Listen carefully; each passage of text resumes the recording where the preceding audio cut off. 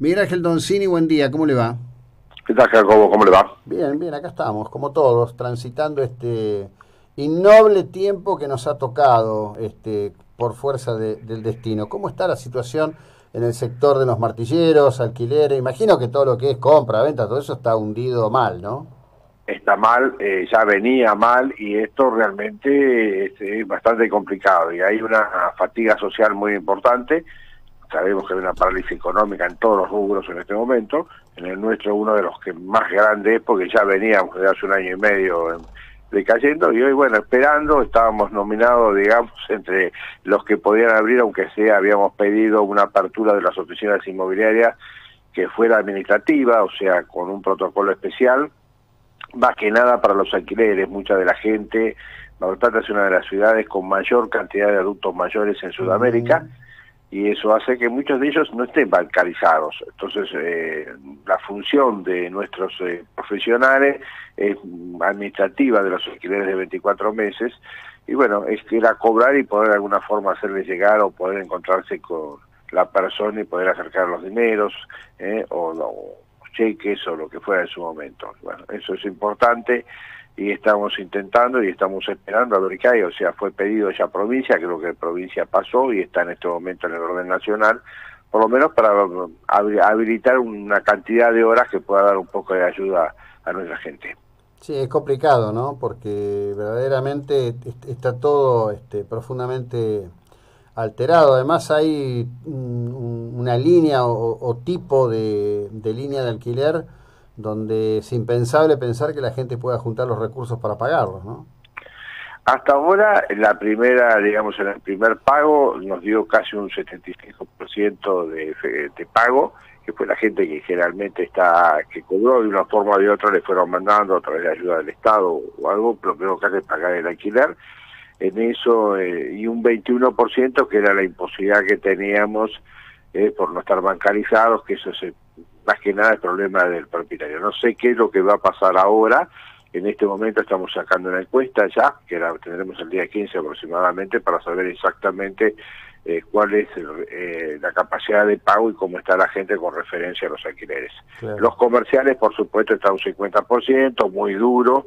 Eh, lo que se han hecho es, aquellos que están trabajando pagan, pero son la minoría, y los que no están haciendo algunos arreglos entre las partes. Esto va a requerir de de, cabeza y flexibilidad por parte de todos, porque...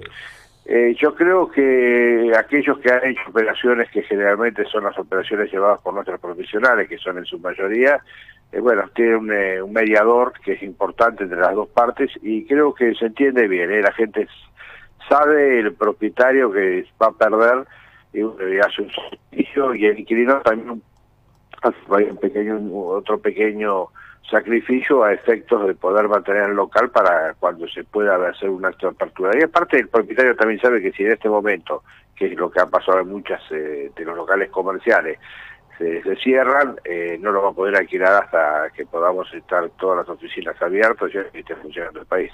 Sí, yo le voy a decir más, yo no sé, eh, en realidad todo está en grado de perspectiva, por supuesto pero me parece que el home office llegó para quedarse, ¿no? Este, la tecnología estaba y me parece que esto va a ir y va a afectar mucho el negocio de alquiler de oficinas, esencialmente. Esto eh, creo que hace un cambio dentro de nuestra profesión que va a ser muy importante.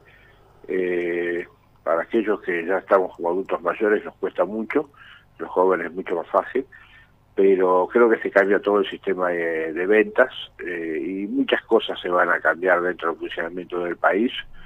Eh, y bueno, son, qué sé, nos tocó vivir, vivimos tantas y bueno, e, esta nadie lo esperaba, eh, nunca se me imaginó una cosa igual, vivimos crisis, muchas crisis en el país porque es normal cada 10 años tener alguna crisis, pero de este tipo que ya no es solo nuestra, sino del mundo, realmente es, dificultoso y extraña y uno cuando se pone a analizarlo realmente da miedo. Sí, bueno, es un escenario complejo, de cualquier manera está lleno de interrogantes, ¿no? Mar del Plata en realidad, bien medido, tiene casi 20 días sin un caso nuevo. Este, Exacto, pero hay otro problema, también si medimos sabemos, por eso hay que decirle a la gente, nosotros tenemos capacidad eh, de aproximadamente un 3% de la cantidad de habitantes en lo que sería la parte hospitalaria.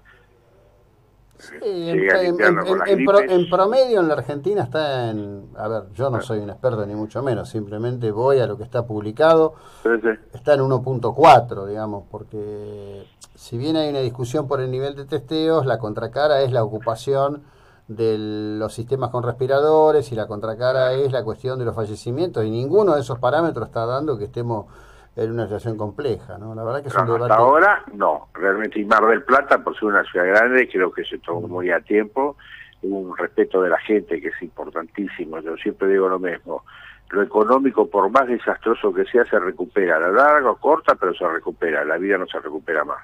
No, eso está clarísimo, eso está clarísimo. Bueno, gracias, eh, buena jornada, muy amable. Bueno, muchas gracias. Hasta luego, hasta luego Don Cini. Bueno, ayer este Alfonso Pratgay, que viene haciendo una recorrida de medios en Capital Federal.